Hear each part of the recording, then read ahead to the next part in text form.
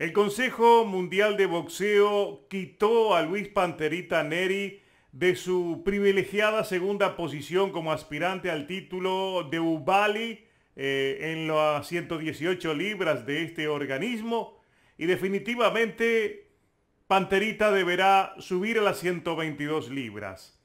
Lo que ocurrió es algo que debió ocurrir hace mucho, pero mucho tiempo. Ya cuando Panterita fue sancionado en Japón por excederse eh, con muchas libras de más, se sabía que era imposible que pudiera mantenerse en la división de los gallos. Pero en definitiva está yendo hacia el lugar que debe estar. Neri no puede pelear en 118 libras y es inútil insistir en este aspecto. La decisión del Consejo Mundial de Boxeo tiene muchas repercusiones. La primera porque lo acerca a Panterita a el vaquero Navarrete.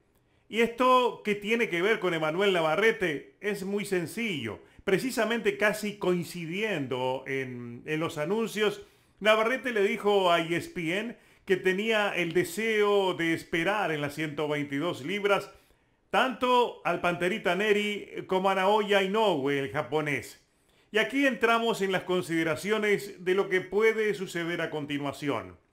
Naoya Inoue difícilmente suba en, los meses eh, por venir a las 122 libras. Yo creo que el japonés va a esperar incluso muy avanzado el 2021 para dar el salto.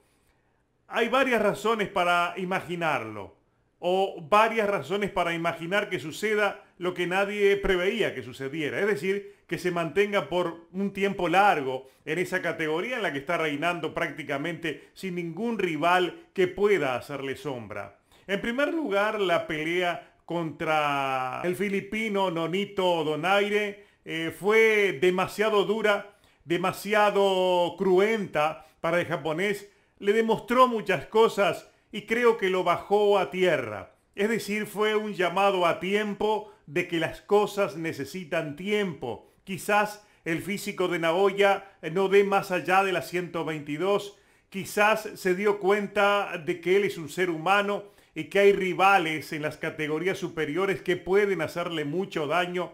Lo que sea va a determinar que Naoya se tome esta etapa de su carrera con mucha lentitud.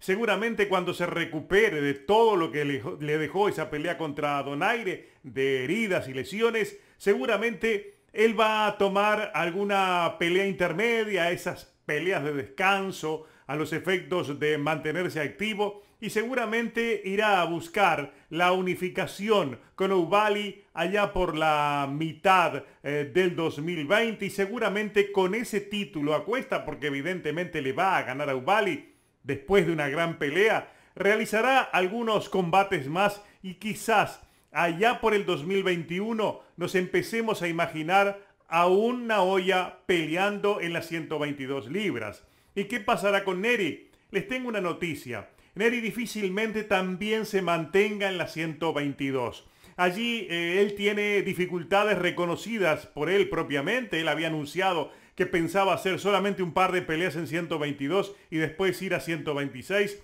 No creo que permanezca mucho tiempo. Yo creo que va a realizar alguna pelea de esas eh, que no tengan eh, mayor influencia en su carrera contra algún rival a modo y de inmediato se va a la 126 porque en definitiva tampoco creo que le dé el físico para esa categoría. ¿Qué pasará entonces con ese desafío que le lanzó el vaquero Navarrete? Seguramente Ambos se van a encontrar en algún momento en las 126 libras, porque recuerden algo, Navarrete tampoco va a estar mucho tiempo en esa categoría. Yo conversé precisamente con el vaquero eh, hace poco tiempo atrás, durante un homenaje que le realizó la Organización Mundial eh, de Boxeo en Puerto Rico, y él me confesó que pensaba realizar entre 4 y 5 peleas aún en esa categoría, y su gran aspiración es enfrentar sin duda alguna al que lo confronta en cuanto a influencia en esa categoría, que es Rey Vargas. No me habló nada de Román, sí me habló del deseo de enfrentar a Vargas y después subir a las 126 libras. Por eso la noticia que les doy